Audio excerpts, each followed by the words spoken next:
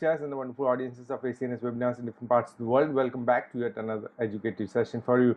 The speaker for the first session of today's webinar is our honored guest from Japan, Professor Norihiro Sakai. Professor Sakai is the chief anesthesiologist and staff physician of the intensive care unit at the Daiyukai General Hospital, Aichi, Japan. He is a board certified member of the Japan Intensive Care Society and also the Japan Society of Regional Anesthesia. He holds a diploma from the European Society of Regional Anesthesia as well. We are extremely honored to have him today as speaker at our webinars and today we'll be talking about regional anesthesia and neurosurgery. The speaker for the second session of today is our honored guest from China, Professor Xiaolin Chen. Professor Chen is a chief physician at Department of Neurosurgery, Beijing Tiantan Hospital, Capital Medical University, China. His clinical interests are focused upon cerebrovascular neurosurgery and he has published several manuscripts in various peer-reviewed journals. We are extremely honored and thankful to him for accepting our invitation to be a speaker at our webinars and today we'll be talking about hemodynamic evaluation of cerebral AVMs. The chair for the first session of today is our distinguished guest from the United Kingdom, Dr. Vidya Nagaratnam.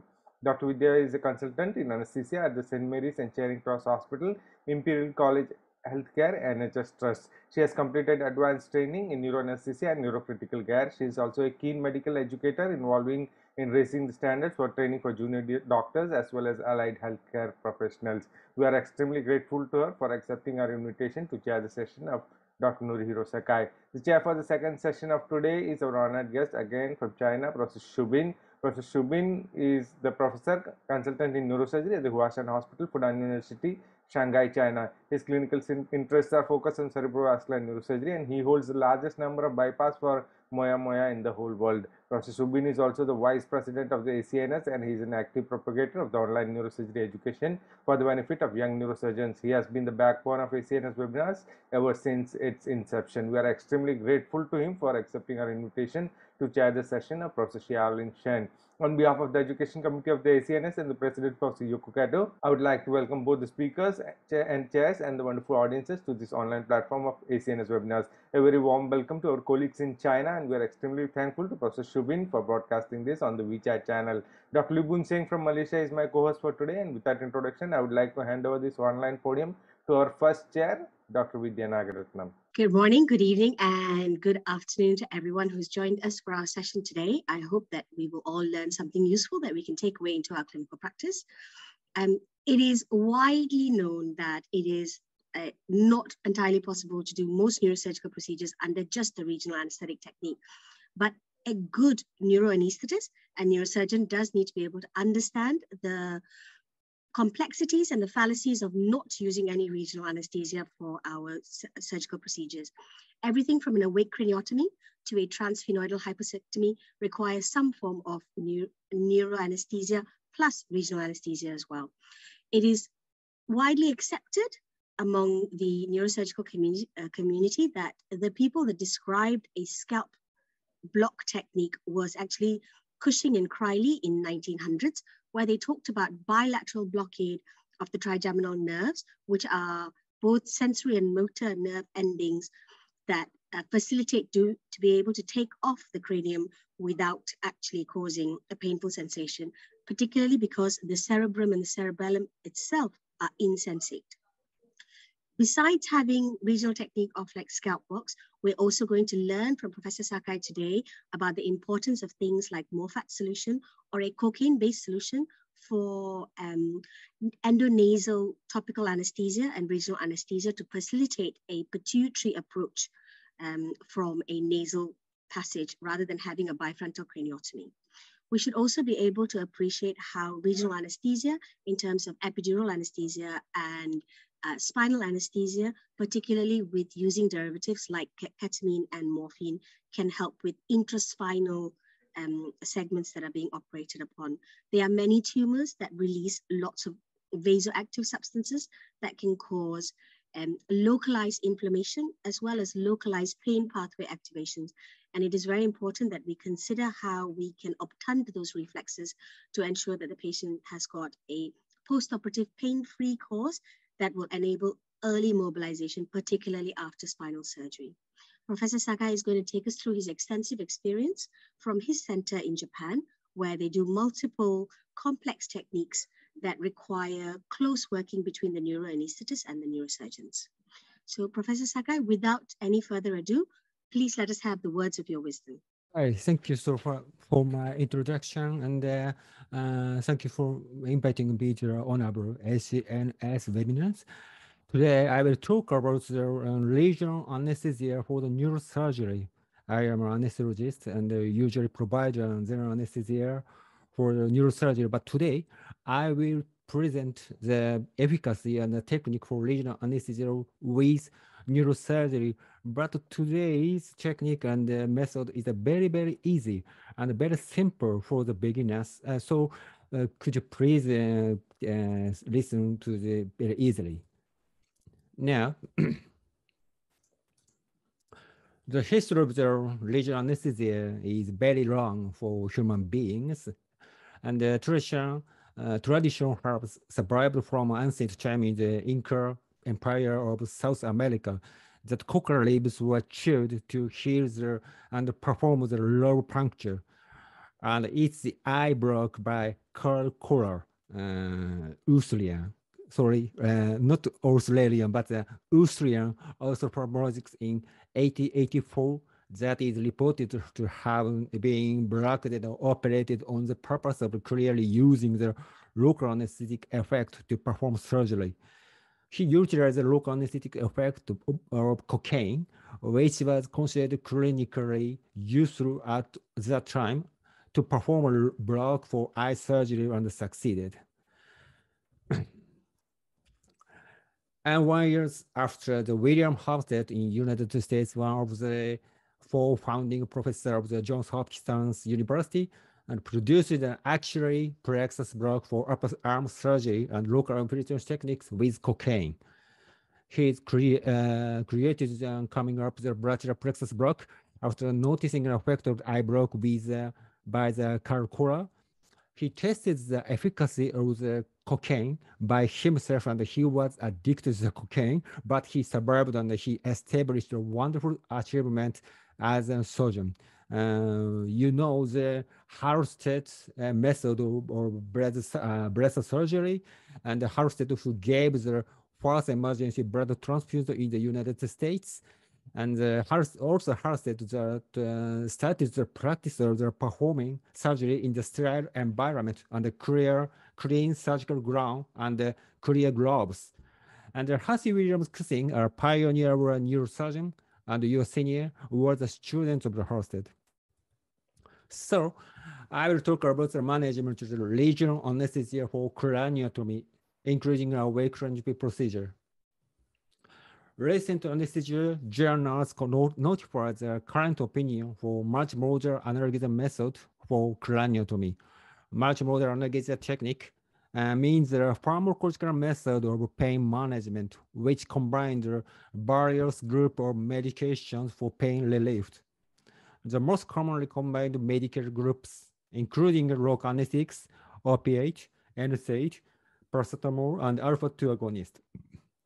You must know when the complete analgesia for craniotomy low dose opiate is insufficient and we must recognize the combination of low, low non-opiate analgesics, uh, especially paracetamol, gabapentin, and uh, dexamethasone have good evidence.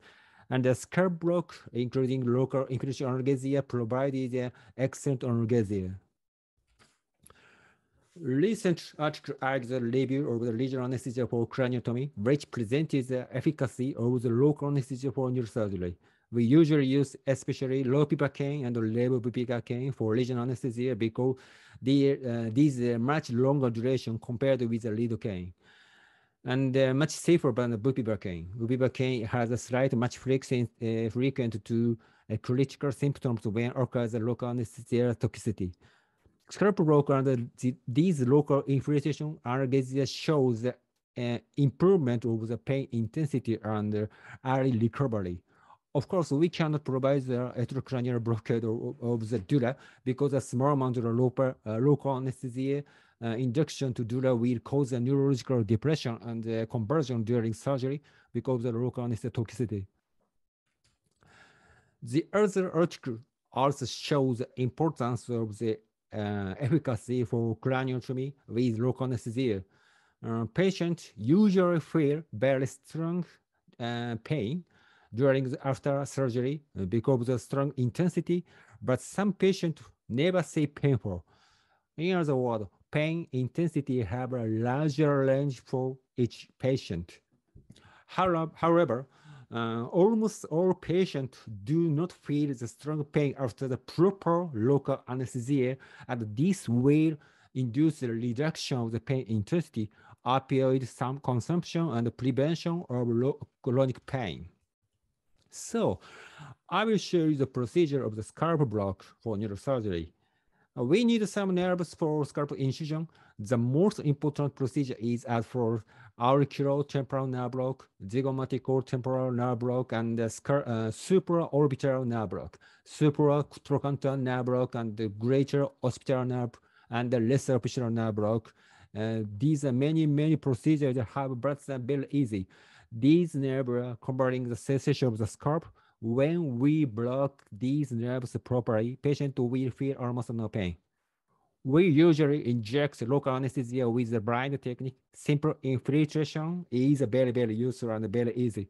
But now, today, anatomical structure, we will show uh, use anatomical structure, which is very easily visualized by ultrasound machine. now, the supraorbital nerve is one of the two branches of the frontal nerve, uh, itself a branch of the uh, ophthalmic nerve. The other bra branch of the frontal nerve is a supratrochlear nerve. Nerve structure itself is uh, very, very difficult to visualize, but the supraorbital nerve foramen and uh, supraorbital artery is very easy to find. Uh, injecting local anesthesia into the supraorbital nerve foramen, and then this spread around the supraorbital artery, the nerve is completely. The supratrochlear nerve block is also very easy. The nerve is running major area of the supraorbital nerve, so we must inject below the major eyeballs for only two or three milliliter of local anesthesia. The block is perfect. One more, the auricular temporal nerve is a branch of the mandibular nerve that runs with the superficial temporal artery and vein and uh, provide sensory innervation to the uh, various regions of the side of the head. Auricular temporal nerve is a minute, very, very small nerve, but less, respectively easy to visualize by the ultrasound machine. The auricular temporal nerve is bracket 1.5 centimeter anterior to the ear at the level of the tragus. We can see the superficial temporal artery and the nerve structure near the artery when the ultrasound probe is fitting on the anterior area of the ear. We usually inject the needle was inserted anterior to the tragus, uh, posterior to the temporal artery, uh, which we use the outer plane technique and the ultrasound guided technique. The reason of the outer plane approach is uh, uh, that the superficial temporal artery is a needle trajectory or uh, sorry trajectory of the in-plane procedure during the auriculotemporal nerve block. One more, the zygomatical temporal nerve, uh, as called the zygomatical temporal branch of the temporal branch, is a small nerve of the face. It is uh, delivered, uh, from the zygomatic nerve, branch of the maxillary nerve, and uh, it is distributed to the skin uh, of the side of the forehead. It communicates with the facial nerve and with the auriculotemporal branch and the mandibular nerve. Zygomatic temporal nerve is also very small nerve we can't uh, we cannot identify with ultrasound imaging. However, you know the nerve is running near the lateral end of the eyelid, and local infiltration around there is very very effectively broken. When usually ultrasound guidance, uh, local anesthesia injection into the temporal fascia is very good and easy technique. You can find the deep temporal artery, and uh, you must not inject uh, into the artery. Greater, oh, sorry. Greater occipital and lesser occipital, greater auricular nerve originate from the vertebral and uh, dorsal rami of the C2 and the C3 spinal nerve. The greater occipital nerve travel up to the vertex and the lesser occipital nerve innervates skin behind the ear. Greater occipital nerve supplies sensation of the scalp at the top of the head, over the ear, and the, over the uh, parotid gland. The greater occipital nerve is easily identified by ultrasound imaging when touching the ultrasound probe posterior and the medial to the ear and the transverse view was identified. The greater occipital nerve is uh, uh, superficial to the auricularis inferior muscle. The relationship of the greater occipital nerve to this muscle appear constant and reliable the ultrasound transducer is moved down over the atlas to the location of the spinous process of the C2. The probe is then moved laterally to identify the oblique capitis inferior muscle of the neck.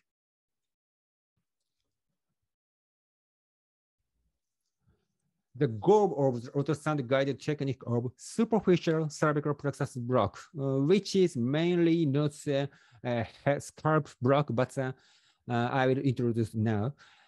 And the, the nerve block is a deposit local anesthetics within the vicinity of the uh, sensory branch of the nerve root C2, C3, and uh, C4.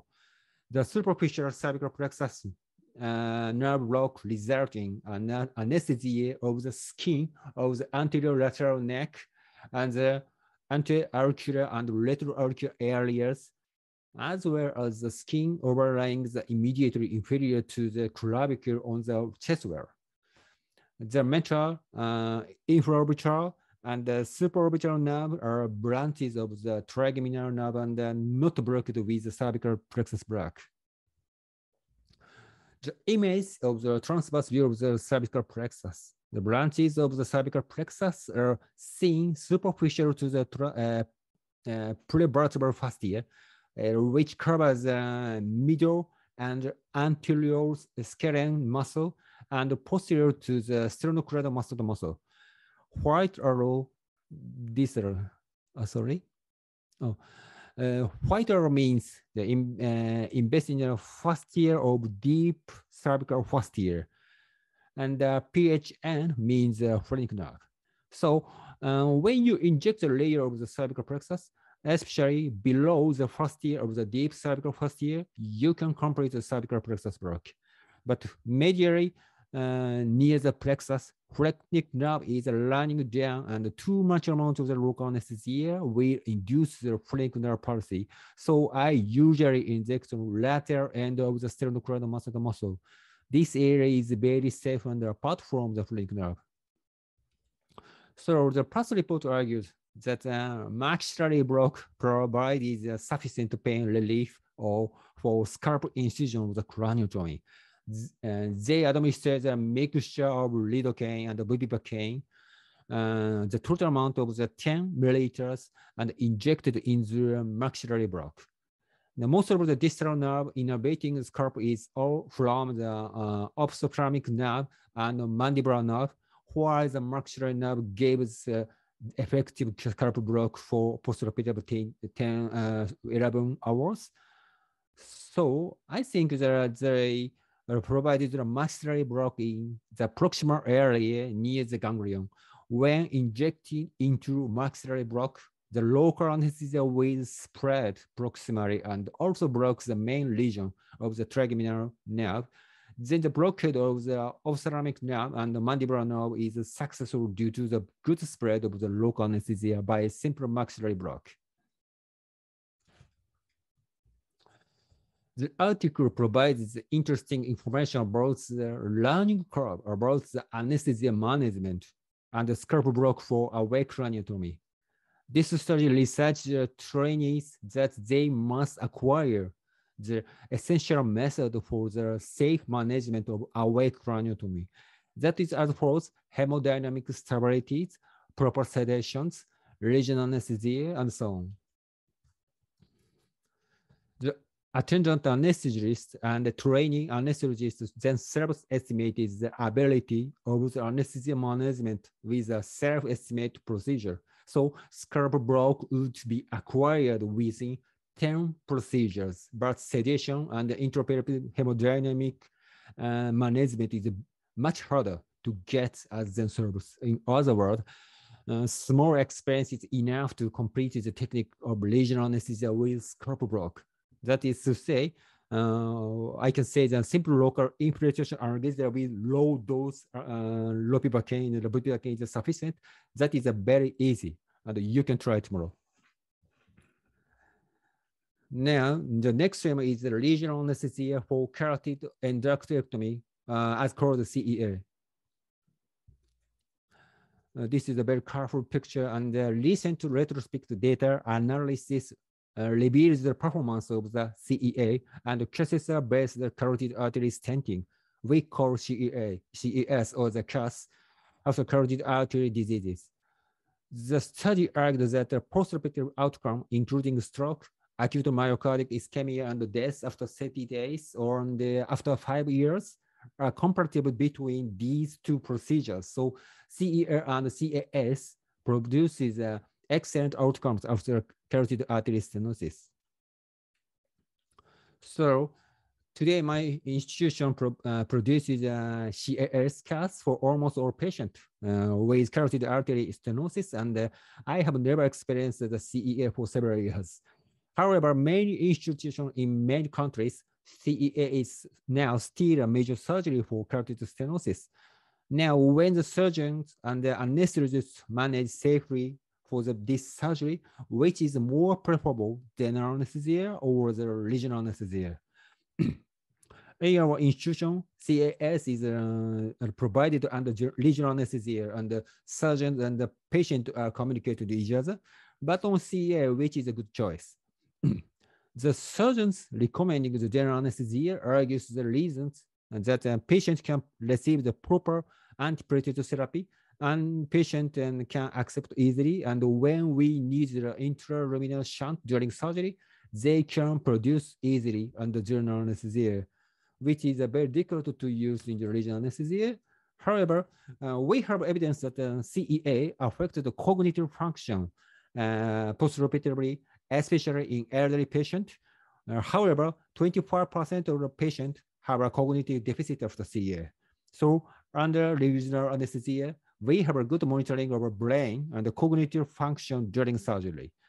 Also, some institution is still disabled to use and access the electrophysiological monitoring when using under regional anesthesia, we can always uh, and continuously monitor the brain function easily and rapidly.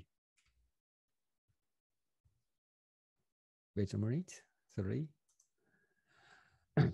The multi-center trial shows the GALA study, which is a very, very famous study, and uh, which is a uh, comparison of the general anesthesia and the regional anesthesia for carotid artery surgery, mainly for CEA. The primary outcome is the proportion of the patient with stroke, myocardial infarction, or the death within 30 days. The risk relation, uh, risk relation was, uh, sorry, the risk rate is uh, uh, 0.94, which means the general anesthesia and regional anesthesia is comparable for the occurrence of the postoperative cardiac and stroke-like event. This means that the safety management during surgery is properly provided to, patient. The anesthesia method is known the main factor of the risky outcome occurrence. Which method is better depending on the uh, some extent on the patient general condition at the time of surgery, and uh, the patient wishes and the accessibility of the monitoring at each facilities, uh, as well as the ease of the management by the surgeon and anesthesiologist. Regional anesthesia have the benefit for monitoring cerebral perfusions and have a disadvantage of pain and anxiety. So the reasonable approach, and I recommended that the CEA is mainly performed with a regional anesthesia, not alone, but then uh, we use a mild sedation or the appropriate general anesthesia that does not require the excessive sedation and analgesia. And now uh, again, I will talk about the introduction, uh, introduce the proper regional anesthesia for the CEA, which is, of course, local infiltration analgesia is uh, very effective, but the superficial cervical plexus block uh, already introduced is a very good indication for CEA. The cervical plexus is arising from the vertebral lamina of the C1 to C4. Deep branch has motor innervation, and the superficial branch is uh, mainly relating the sensory the block is a very easy to administer. Uh, only injecting a local anesthesia into the lower layer of the sternocleidomastoid muscle muscle and above the major scalene muscle. And we recommended to use uh, the administration amount of the local anesthesia as uh, uh, 3 to 5 milliliter of the 0.75 low bupivacaine or the 0.5% level of bupivacaine. It is sufficient to manage the pain the first research is uh, comparing the efficacy and the preference of the regional anesthesia or the general anesthesia for CEA. The retrospective research argued the surgeon and anesthetist was preferring to use general anesthesia for patients who were young age, Hispanic efficacy, uh, BMI under uh, 18.5 and uh, dyspnea, chronic obstructive pulmonary disease and smoking. And the preferred regional anesthesia is low hematocrit and low platelet. This data shows that the anesthesia procedure had never provided a mortality difference. And uh, if you avoid the perioperative transfusions or perioperative pneumonia, the data indicates the side effect was much lower regional anesthesia. Regional anesthesia is uh, not only safe and effects for risk patient, um, but it seems to be useful for our household and uh, for re reducing the consumption in the state budget. And the medical cost is lower in the regional anesthesia. The difference is on about 3,000 US dollar, which is very, very high. And uh, ICU administration rate is very low. These data indicates the most cost-effective with regional anesthesia. So the expert regional anesthesia provider and the safety management professional recommending the following opinions. And that is considering the uh, potential of the uncontrollable airway, patient anxiety, discomfort, and the stress during surgery. Of course, general anesthesia is far more likely to use currently the key factor for uh, improving surgical outcomes is collective perioperative team experience and the routine in place. Once more, I must say opinion, regional anesthesia combined with general anesthesia is beneficial for patient and the medical staffs. I understand that this opinion is a very safe answer and this is a very typical for the high achieved owners. And uh, However, I think it is better for me to express this opinion in a public webinar like this. and the last, uh, I will talk about the home take home message, uh, which is also I would like to give you on a response. But then regional anesthesia is a very uh, good alternative for pain management during craniotomy and carotid endarterectomy. Regional anesthesia have the uh, good potential for reducing complications, medical costs, and the burden of the medical institutions. And ultrasound imaging clarifies the anatomical nerve causes. Okay, so uh, in the end, I will talk about the introduction of my hometown. Uh, my hometown, uh, Aichi, is a very famous industrial city in my home country. And uh, especially, uh, especially my hometown Aichi Prefecture is the largest region in Japan in terms of the both value and the volume of the industrial shipment. The Japanese one of the largest industry company is a Toyota, and the Aichi Prefecture has the headquarters of the Toyota. And uh, Toyota is a very famous automobile uh, example Land Cruiser and uh, EV Prius. But then Toyota originated in the fiber textile industry. The company's beginners were the manufacturing the auto, uh, automatic looms. Uh, even today, the textile industry and automatic, uh, automatic looms and manufacturing is one of the major industries. And my city, Ichinomiya, uh, is uh, very near from the Nagoya city, the capital of the Aichi prefecture. It's uh, one of the most historical for textile industry in Japan. And uh, much of the values of the textile in Japan is still going from Ichinomiya city. Thank you for my, uh, listening. Sakai, thank you very much for that very informative talk. I'm sure we all have learned a little bit there, and hopefully that will enable us to have better neuroanesthesia practices to help our neurosurgeons provide best care for patients. Thank you very much for joining us again today. Thank you so much. Are there any questions that our allied panelists would like to interact with Dr. Sakai or Dr. Vidya? Professor Shubin, any comments from you?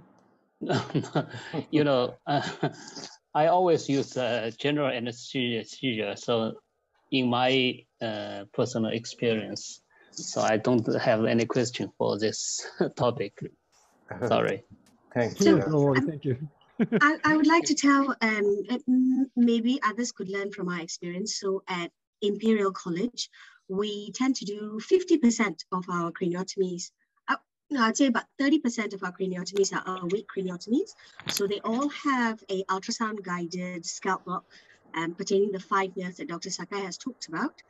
After the scalp block has been given, we do run a dexitomy infusion as well, intraoperatively. And um, we used to do the awake, asleep, awake method where we did a general anesthesia, they put the frame on, and then we take the frame off, and then uh, we make sure they're fully awake. But we found that for fine motor skills and the eloquent speech areas, giving them even a short general anesthetic can have detrimental effects on intraoperative monitoring. So we have mm-hmm. moved away from that technique. For the last five years, we do a regional technique followed by IV dexmedetomidine.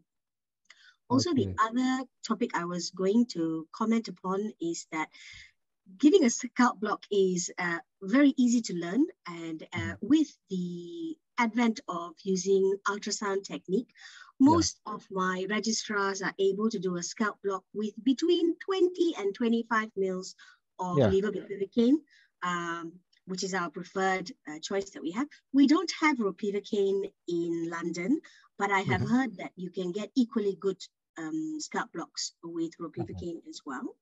Mm-hmm. Uh, the other thing I wanted to mention, Dr. Sakai, is that uh, your use of uh, regional techniques in multiple points for reducing postoperative pain is very important for, yeah. for neurological recovery because it yeah. means in the recovery room you can very quickly test and make yeah. sure that there is no adverse events. Uh, mm-hmm. Thank you very much for sharing your experience with us. Does anyone have any questions for us? We have Ben from Hong Kong. Hello, Ben. Would you like to? Yeah, hello, anything? hello, Roger.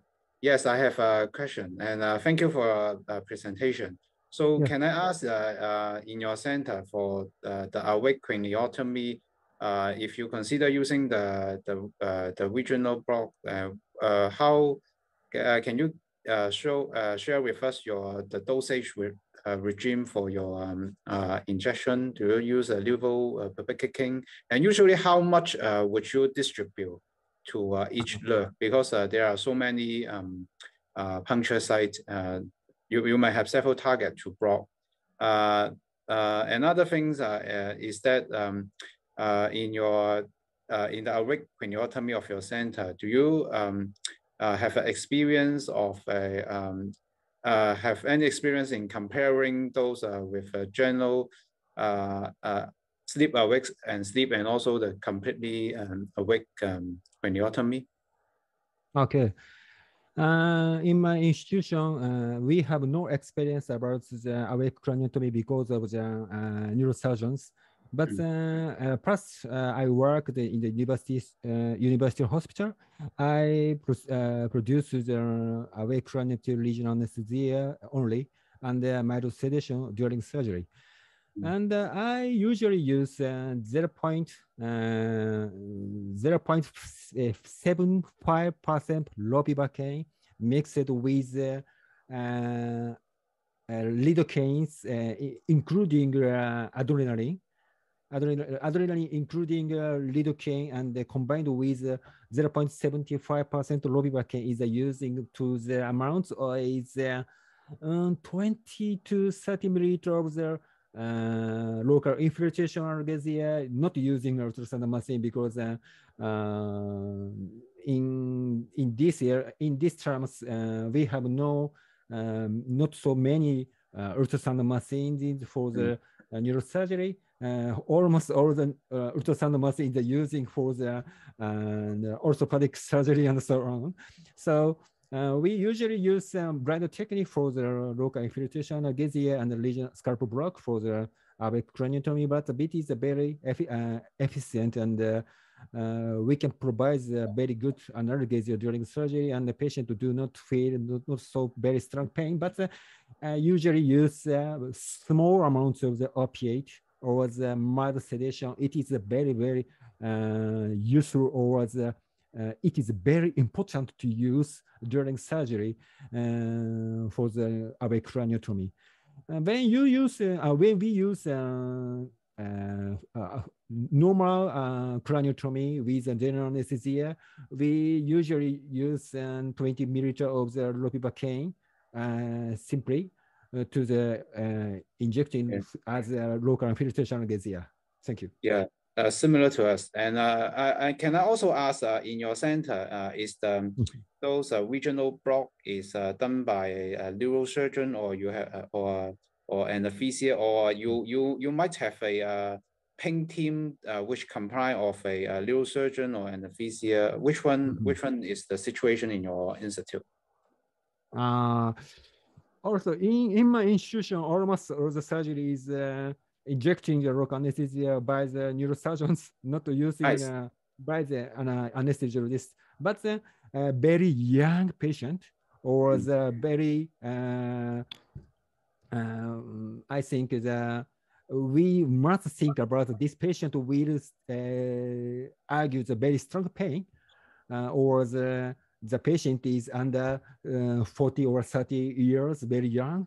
So we uh, you, you, usually provide your local infiltration analgesia or the scalp block for patient uh, forma to the uh, in the uh, when the, the uh, induction of the anesthesia uh, after the general anesthesia induction, but uh, before starting the surgery, because many neurosurgeon is completely forgetting to use local anesthesia after surgery for the pain mm. management uh, be, be, uh, because uh, neurosurgeon is uh, uh, almost the, all the neurosurgeon is uh, very very busy and very mm. tired after surgery. Yeah, so I usually use local anesthesia. yeah, thank you, thank you so much. Yeah, thank, thank you, you, very much. Any yes, questions thank you. from my co-host so Libun Seng? Any questions from you? Yeah, thanks, thanks, Raja. Thanks, Prof, for a very interesting topic. I just have uh, uh, two questions uh, regarding uh, uh, scalp block uh, for yeah. awake. Uh, may yeah. I know that uh, how long does it uh, work and uh, what are the monitoring that you have uh, to, to mm. see that whether you need to give additional injection or whatsoever or tell the surgeon that no, no more effect, I need to convert to uh, GA or whatsoever. Can, can I have a bit of explanation? Um, Thank you. Okay.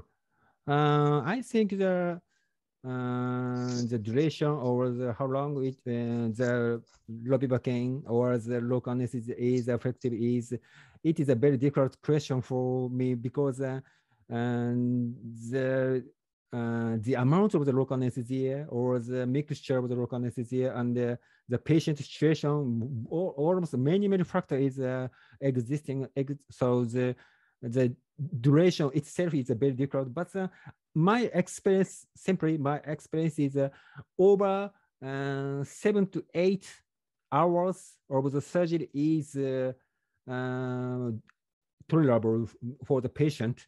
And uh, almost all the patients do not complain the very strong pain during surgery for the awake craniotomy. And when uh, we our institution uh, do not use uh, uh, craniotomy, but uh, uh, almost all the patients uh, when the surgery is over for eight or to 10 year, 10 hours, but almost all patients do not complains the very strong pain in the intensive care unit. And uh, I do not use many amounts of the opiate, only a few amount. So the 20 milliliter of the ropivacaine is, I think, are sufficient to use for the scalp block. And uh, too many uh, uh, administration of the administration of the uh, local anesthesia is very uh, very dangerous for the patient uh, with local local anesthesia toxicity, I think.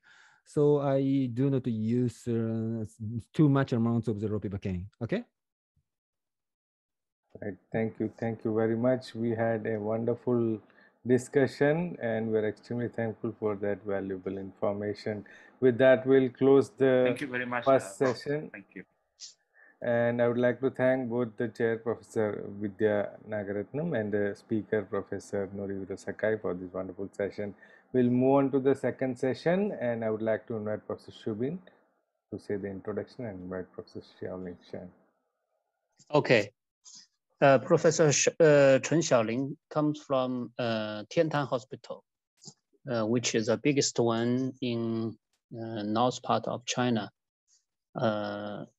The similar size uh, with our Huashan Hospital. So also maybe 16,000 surgery per year, this size. Uh, Chen, uh, Professor Chen, uh, he is uh, uh, working with uh, Professor Wang Shuo and uh, Zhao Jizong, and they did a lot of series of AVM resection. So now uh, let's uh, give the time to Chen Xiaolin. He will introduce uh, AVM hemodynamic changes. Let's welcome good morning and know that in China that would be say good, good, good evening.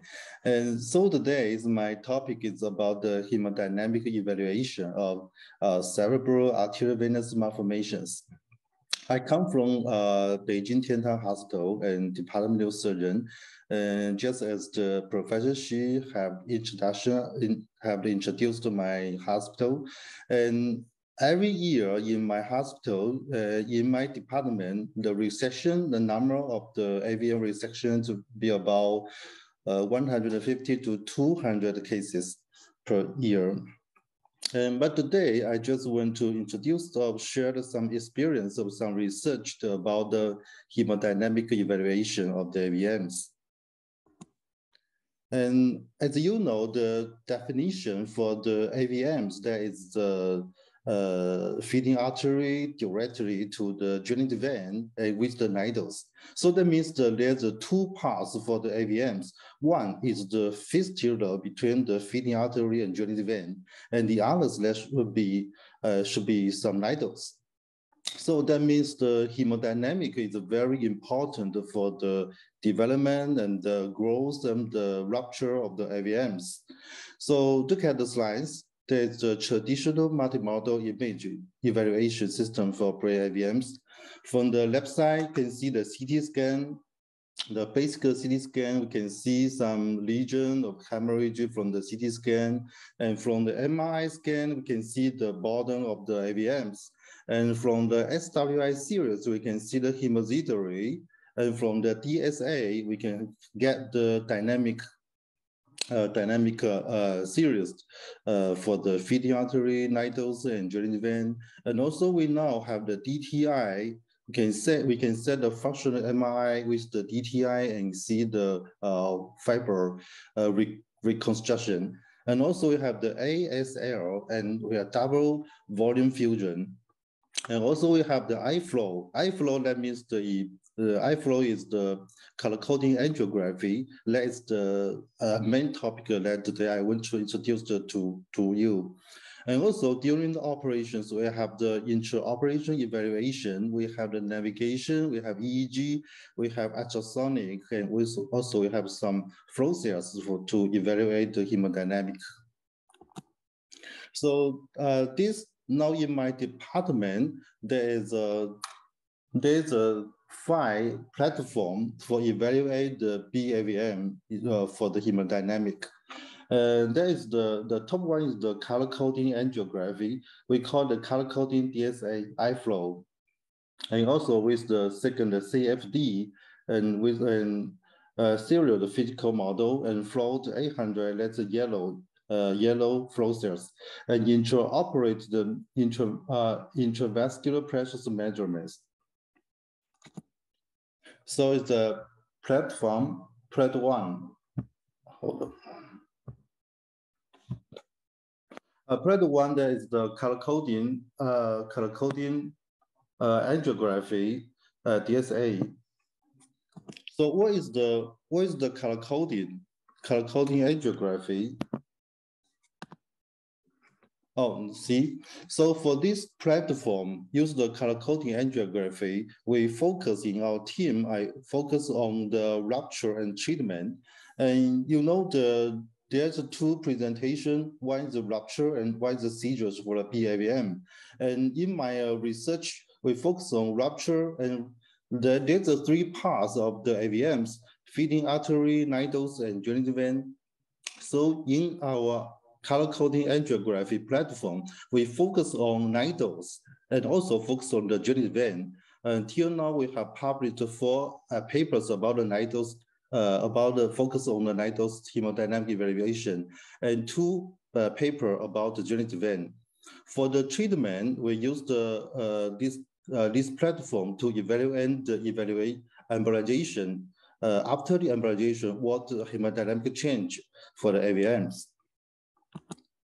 So what is the color coding angiography? Uh, we, as we know, the DSA is the gold standard, is the gold standard for all the, uh, is the gold standard for the diagnosis of some vascular disease, such as aneurysm, AVMs, because the DSA that can provide the anatomy image, uh, also with the hemodynamic information. So look at the picture of the up, that's the traditional DSA, uh, usually, we look at the DSA angiography, we will see the dynamic series because we, we need to see the feeding artery, the nidals, the draining vein, and we have to see the whole dynamic series. But for the color coding angiography, color coding, that means use the different color to pre, pre uh, to, that means the uh, different time, uh, different time for the uh, contrast arrives from the red to blue.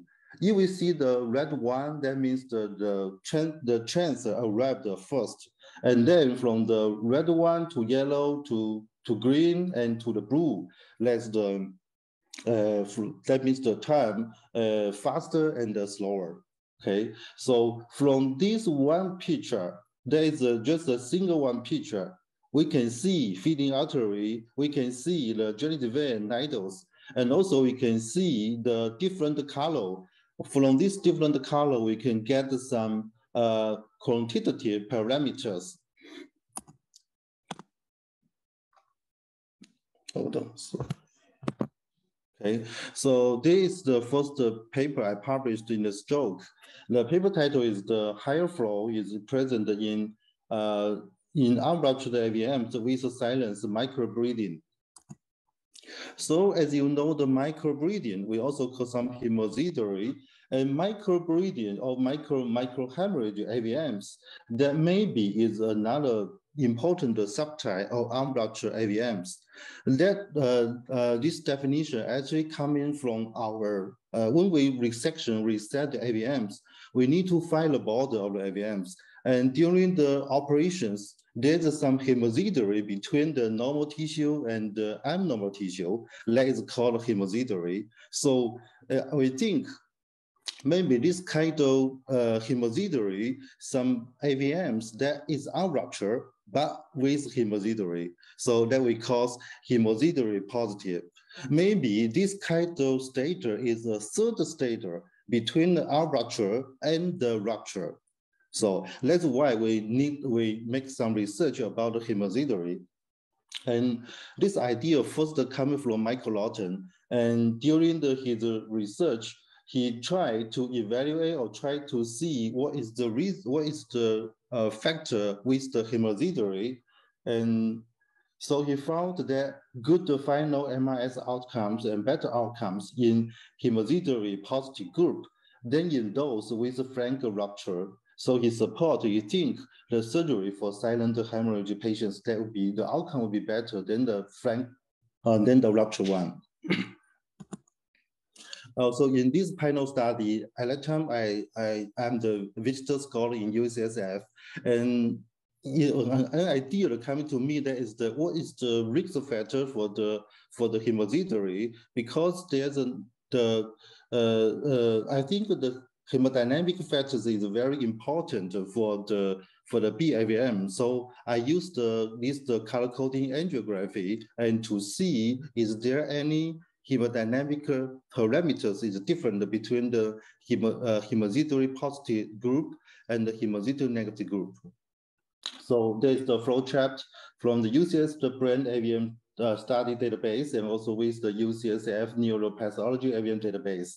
And when we, we need to get the DSA available, and also we need the unblotched AVMs, and also we uh, exclude uh, small AVMs. And because this uh, uh, color coding angiography is more sensitive for the supratentorial AVMs, so finally we get 25 cases.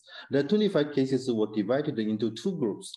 One group is unblotched AVMs with, uh, without, without hemosidery, that we call hemosidery negative, number is 16. And the other group is unblotched AVMs with hemosidery positive. The number is nine. So we use this uh, color coding angiography. This color coding angiography is a software come from the Siemens. And after the, the we get the 2D angiography from Siemens. This iFlow, this uh, post-precision software that can be used to reconstruct color coding angiography. And we also can get a time density curve. See this time density curve. And when we put the ROI into the different, uh, into the vessels, each vessels or each ROA, ROI, we can get one curve look at this picture. We put ROI on the feeding artery, so we get this the time is the uh, time density curve from the feeding, uh, feeding artery. And if we put the ROI on the genital vein, there's another curve we can get.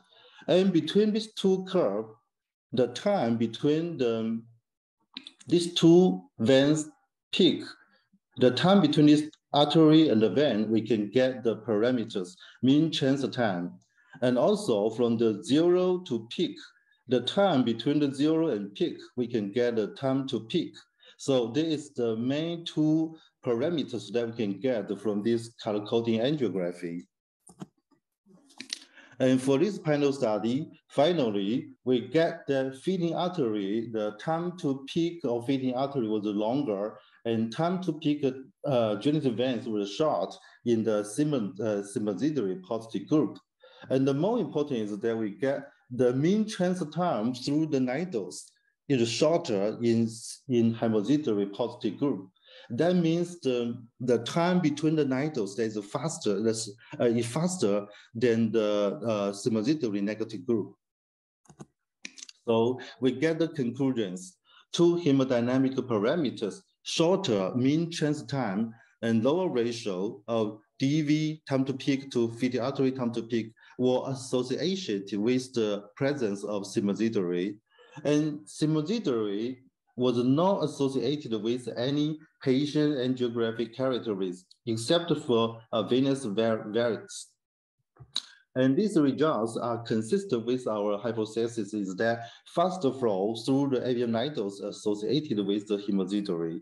So another, another conclusion is that this kind of coding angiography can provide an objective hemodynamic evaluation in a clinical setting and may be a practical means of assessing future hemorrhage risk in AVMs.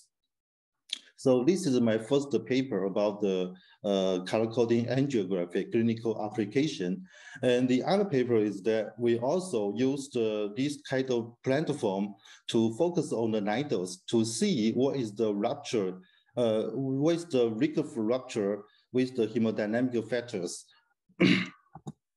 So we uh, we use the time density curve fitting process and calculate the quantitative hemodynamic parameters. So from this another project, we see, you can see this curve. That's the curve from the, we can see the curve is, this one is the inflow gradient and the other is the outflow gradient. And from this new curve, we get the more, get the more parameters. That one is the stasis index. That means the inflow gradient divided by outflow gradient. That means the, the flow uh, the flow inflow is the is is more than the outflow, or is the speed is the flow is speed is faster in the inflow, but the outflow the, the speed is slower. Okay, so for this project, I put the ROI. One is the uh, ICA, and the other I put ROI on the feeding artery. And oh no, our this the ROI I put on the uh, needles. And here we have the hemodynamic, hemodynamic predicts of BAVM ruptures. One is the stasis index. Stasis index, that means just as I, just as I said, inflow there is more, but the outflow is too slower. That means the more blood in the needles. Okay, so that's the higher stasis index. And also we get another parameter that is a slower transnidals relative velocity. That means the velocity in the needles is slower. That means the more blood was, was crowded in the in the needles. So that caused these two uh, parameters are significantly correlated with the BAVM rupture. Yeah. So we also use the uh, stat statistics to finally to get the results.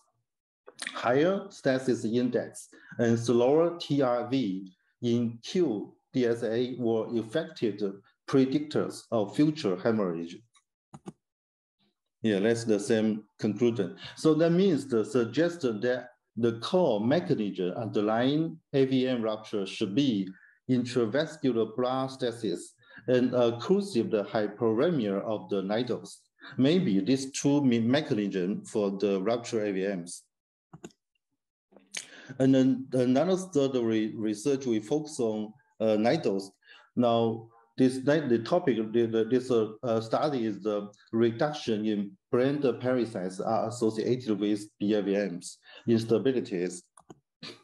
For this project, I want to compare the uh, the unruptured unruptured BAVM with the control and also the uh, unruptured cases, there's a hemosiderate positive group and the other hemosiderate negative group. But this uh, well, this target is focused on the pericytes. As you know, the pericytes is one of the important parts for the BBB.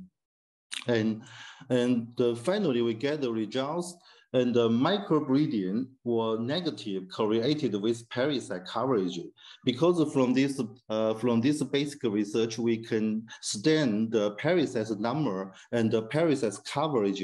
And then finally we get the microbreeding is, uh, is, is, is more severe with uh, if the pericyte is lesser and if the pericyte coverage is, is, is small, though the microbreeding would be bigger. So that means the, the decrease of pericytes was positively correlated with the mean transdermal AVM needles. yes, so that's the uh, conclusions, just what as I said. And so for, from the, uh, the first three papers, we, we use the eye color coding angiography focus on the needles. Now we move the move the ROI to the drainage vein, I think maybe the drainage vein is another important important risk factor for the research. Uh, it's very important uh, factors that we need to focus on. So this is another uh, papers that will delay the venous delay the venous drainage in rupture AVMs based on qualitative color angiography. so from this project, C, A, and C, that is the rupture cases, and C is the unruptured cases. A and C, we put ROI on two. One is the ICA, the other is the jugular vein. So from the uh, from the ICA minus to jugular vein, we can we call it that is the the whole the the whole hemisphere circulation time. And from the B and D, we put the ROI on the ICA and on the the second one in the feeding artery, the third one on the drainage vein, and the first one, the final one, we put on the drainage vein to the sinus. So we put the ROI on four parts of this um, of the AVM. And from this one, rupture cases and non-rupture cases. And finally, we get the, the hemisphere circulation time is longer in rupture cases. And also from the drainage vein to sinus and to ICA to sinus, it is shorter in the rupture cases. So that means the prolonged drainage time from vein to sinus was associated with BMA rupture.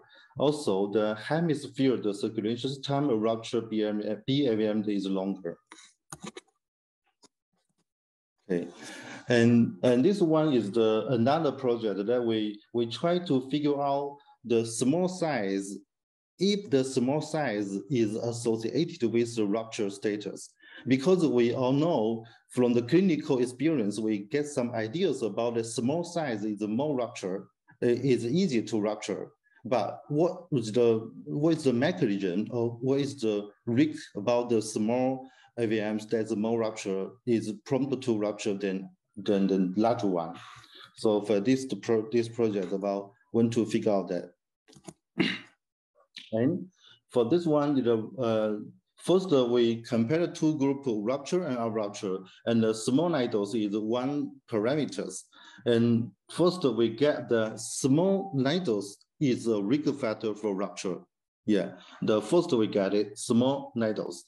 And another one, then we compare if the small one and larger one in the different parameters is the diff is if the difference between the small one and large one, and now finally we get the if the small nidus group was more likely to have hemorrhage predators such as lower outflow gradient and higher stasis index of the main drainage vein. That means that means outflow gradient lower, that means the more blood would be uh, in the nidus, and also higher stasis index of the main drainage vein. So the same mechanism for why the small one have the have more rupture. So these two cases presentation. This is the small nidus rupture, and see the curve, low outflow gradient. This one is the outflow gradient. And this one is the large nidus out rupture. And see the out, out gradient. This out gradient is steep, is steeper than the, than the smaller one. That means the flow from, from these unruptured cases, the flow would be outflow, outflow from the nidus would be quickly. And from this small nidus rupture, the blood would be would be would, be more have would be more time or would be more in the nidus and the outflow gradient is, is not so steeper. Okay. so yeah, there's the, we use this panel study just to evaluate that small AVMs is significantly higher uh, rupture than the large one. And underlying cause may be due to the specific hemodynamics. Okay. And also another paper is that we we try to figure out the, if we use the partial embolization, what would happen for the hemodynamic. So we use this color coding angiography to evaluate what happened after the partial embolization of BAVM. Now, we put ROI into in also the, the four parts, ICA and the drainage vein, see the drainage vein and the drainage vein, uh, feeding artery, drainage vein, and the sinus. This is the four ROI. And first, we compare the, the patient. If the patient pre-embolization and post-embolization, the hemodynamic, hemodynamic parameters, if if the hemodynamic parameter would be different. So the results shows that post, post embolization, most of the hemodynamic parameter will be changed. And the second time, the second project, the second um, uh, the, the, the, the second aims, we just want to compare the if the embolization is less than 50% compared with the embolization less uh, more than 50%. So what is the difference between these two parts, between these two procedures? And for this one, uh, yeah, for group one and group two, group one is the less than 50%, and group two is more than 50%. And if the degree of the embolization is more than 50%, the hemodynamic changes are more severe, most of which are manifested in various the mean transit time. That means the different uh, the time between the ICA to feeding artery or ICA to genital vein or genital vein to sinus, the time between the, the different uh, ROI that would be most severe, severest in the in the embolization more than 50%. and also we compare group one and group two, and that oh, it's the same. That means the mean transit time, the larger the embolization volume, the greater the change of hemodynamic parameters. So we get a conclusion. Embolization can significantly change the hemodynamics of AVMs, especially in patients embolized more than 50%. And from hemodynamic per, per, uh, perspective, partial embolization can prolong the mean transit time of the nidus which may mean the partial embolization can reduce the risk of AVM rupture. And okay, so the another platform is the CFD. Actually, the CFD, most of the CFD was used to evaluate the hemodynamic of any region and some there, there's not so many uh, research focus on this uh, AVMs because the you know the nidus or the AVMs is very complex. It's very difficult to use the CFD pro platform. And in our project, we use CFD focus on the genital vein because we cannot use CFD in the nidus. The nidus, the, the blood in the nidus is too complex.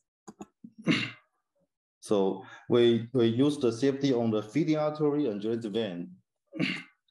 and there is a, a panel study, uh, seven cases of rupture and six cases of rupture. And you can see the number of segments with high velocity and WSS in each segment, also in the rupture, and WSS um, maximum in each patient is higher in the rupture, and also pressure in the in the rupture case is higher. so we get the WSS and pressure of genital vein uh, or wall or rupture AVMs were higher. Also, in the genital vein, rupture AVM case increased in uh, linearly, while the pressures in the genital vein of unruptured AVMs decreased linearly. Okay, so see, uh, see this two curve. This curve is too steep, and the other curve is not so steep. And also we use the CFD to compare the different part, different part of the genital vein, and we see the WSS in the posterior uh, genital vein of rupture AVMs was often ele elevated, which may be the reason why genital vein stenosis often occurs in the later segment. Yeah, and there's another platform. We use the theoretical physics model platform, and this we we because that's too compressed for us for the AVMs. So the theory, the physical model, we have to uh, have, have to suppose we have to have to hypothesis that is very easy, very simple hemodynamic for AVMs. Then we we suppose that one feeding artery and one genital vein with the nidus. okay. So, and the contrast, we use these kind of models, and the contrast agent, agent time density curve obtained by the physical model is highly consistent with the uh, with, with the DSA flow. That means that we use this serial model the same as the we get it from the color coding angiography. And this B is an independent predictor of AVM ruptures, suggesting that the imbalance of inflow and outflow may be the internal mechanism of AVM rupture. Okay, because the, this paper, this paper is coming from another another corporation, and that is the another university. So they get they get me the results. Okay. The final platform that we used in our in our in our research team that we used the intraoperative intravascular pressure measurement. and the background in the previous study, pressures in the drainage vein was measured in oh in uh, six AVM animal models, and it was found that pressure in the drainage vein changed significantly when the embolization volume is more than 50%. So in the previous study, some research, some authors used uh, in the animal model to, uh, to, to, to measure the pressures of the drainage vein, and they get the panel results. And in our project, we also used the intraoperative monitor of pressure, and we put these pressures in the different parts. We can we uh, we calculate, we measure the different pressure, mean artery pressure and uh, feeding artery pressure and drainage vein pressures. And also we can calculate the pressure gradient. Uh, PG1 is MAP minus feeding artery pressure, and PG2 is feeding artery pressure minus drainage vein pressures. Okay, and there's the six cases. Three cases are rupture cases, and three is the rupture cases for the uh, mean uh, pressure, uh, feeding artery pressure and drainage pressure is the, almost the same. But for the PG1 and PG2, PG1, that means the uh, uh, mean, mean pressure minus the feeding artery, and PG2 is the feeding artery pressure minus drainage vein pressures. And more important and more insignificantly is the PG2, because you can see these uh, three numbers rupture cases, the PG2 is smaller, is, is, is, is smaller than, uh, than the rupture cases.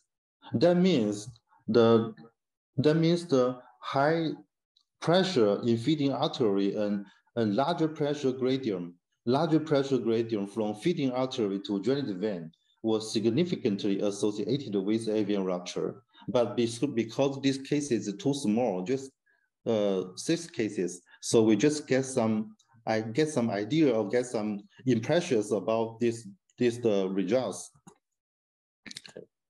So this is the summary of I, my team have already published a paper about the hemodynamic evaluation for AVMs. So there's a summarize. The hemodynamic mechanism leading to AVM rupture is the blood pouring in the AVM region and uh, sharply decrease the pressure gradient.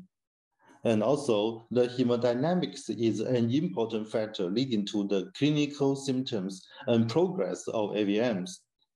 And the establishment of a multi-dimension, multi-model, and multi-platform hemodynamic evaluation system is conducive to the formulation of a more scientific and accurate clinical management plan for AVMs.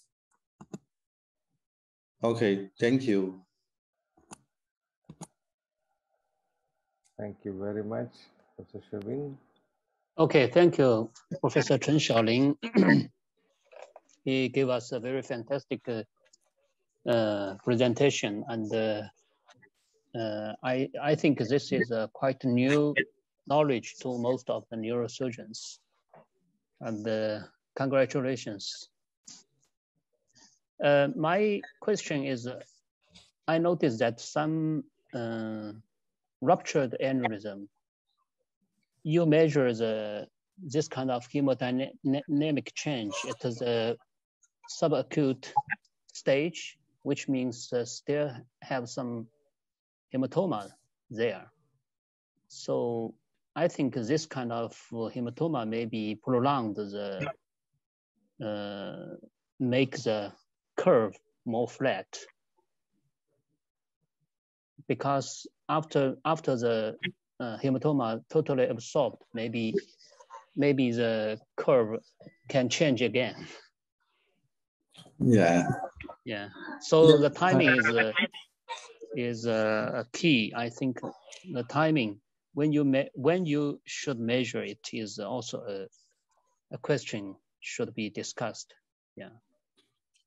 Yeah, thank you, uh, Professor Xu. Actually, for during my research, we have considered this, uh, this factor. Uh, so for this kind of cases that we exclude the acute, acute hemorrhage phase, because if the hematoma that maybe affect the, the curve, the intensity, the we you know the acute phase will will influence the influence the hemodynamic status right? So uh, most of the cases that we used, all the hematoma have, have already disappeared.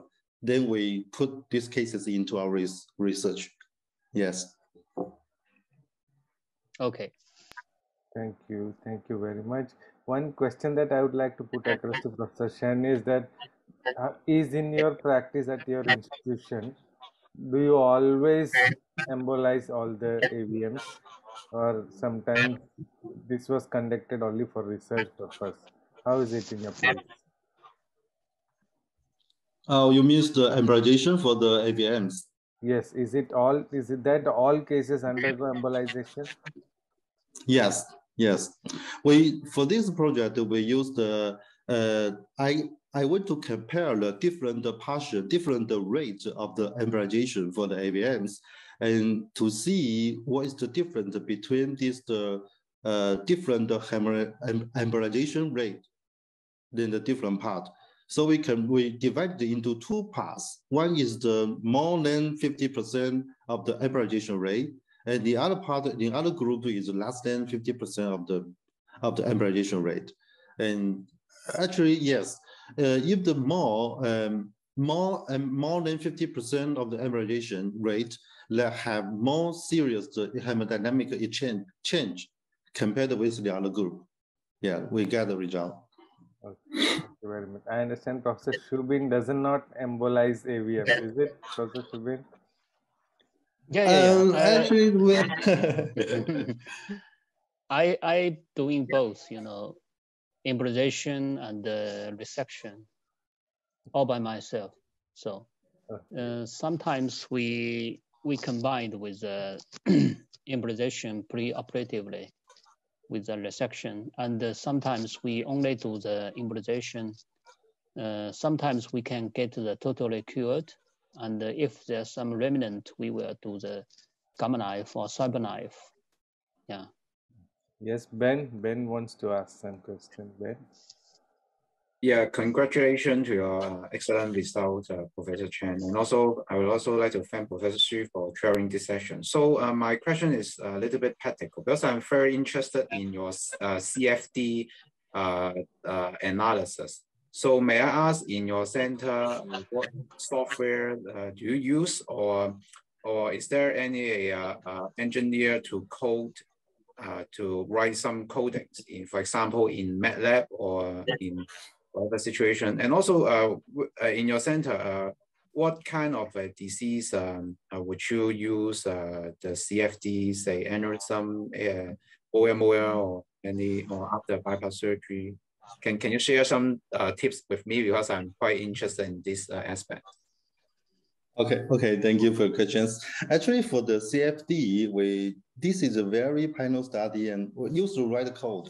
And for the AVM research, CFD is a very useful tool. We all know that it already can be already be used for moyamoya disease and for the aneurysm, especially for the aneurysm.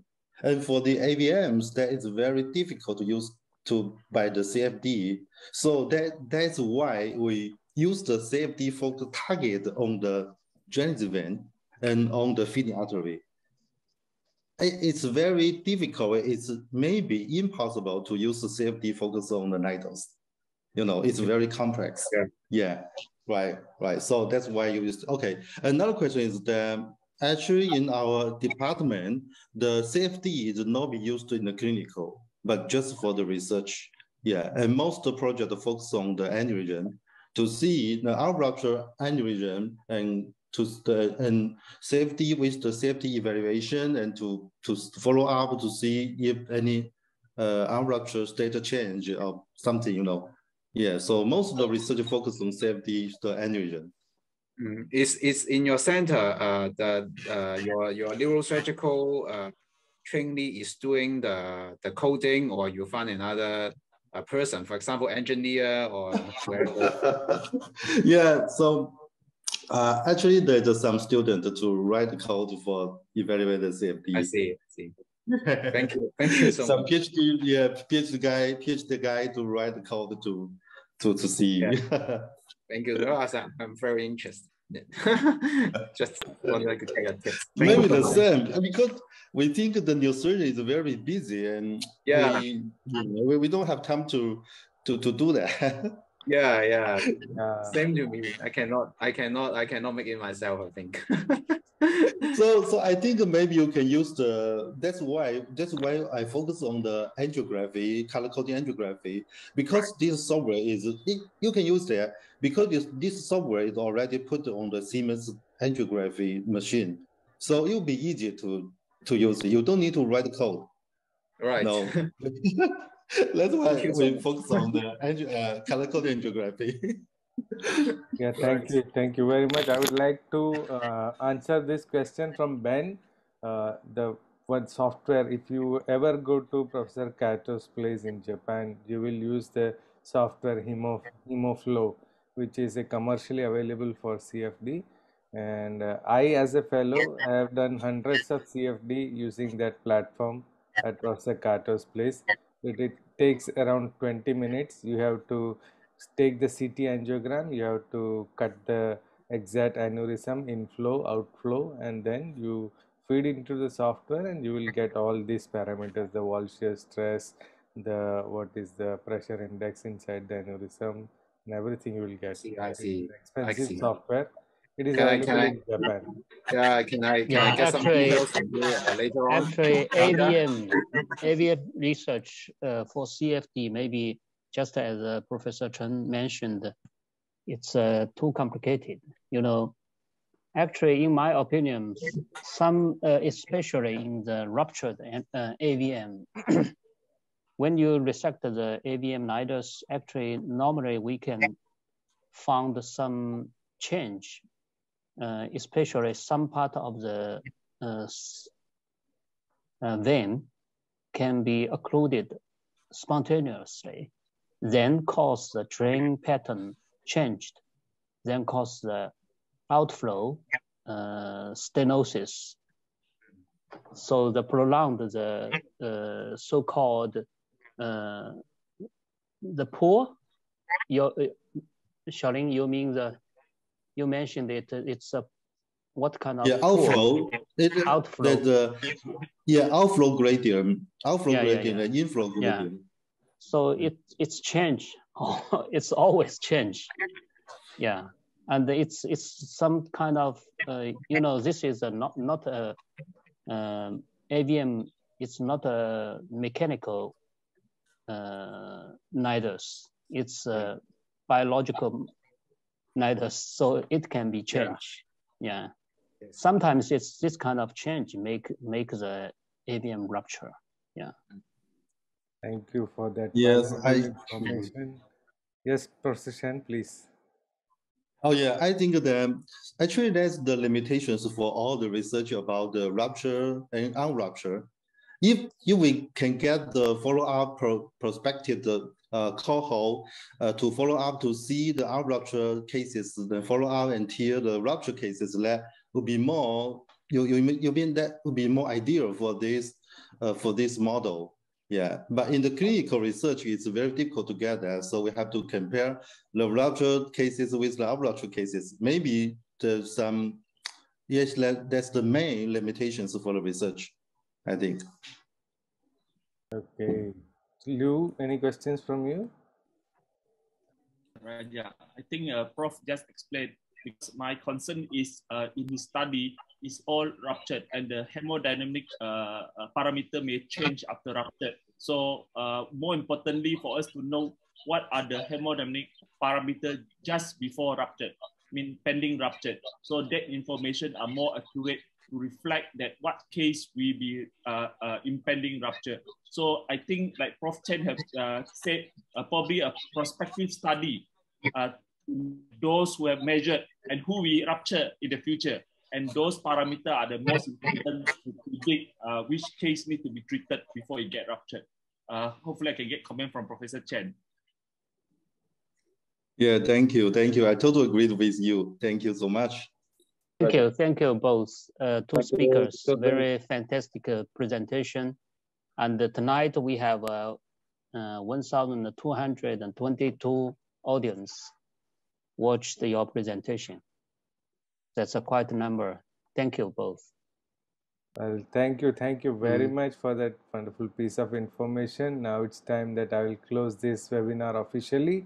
On behalf of the Education Committee of the ACNS and the President Professor Yoko Kato, I would like to thank both speakers of today, Dr. Norihiro Sakai and Dr. Xiaolin Chen, as well as the chairs, Professor Vidya Nagaratnam and Professor Xu Bin, for the time and support for the ACNS webinars. I would also like to express my sincere gratitude to Professor Xu Bin for broadcasting this on the WeChat channel. And today, as he mentioned, we have around 1,200 people who joined us live. And also a special thanks to my co-host Dr. Liu Sen for joining me. So until we all meet on the 13th March, is bye bye from all of us. Thank you very much for joining.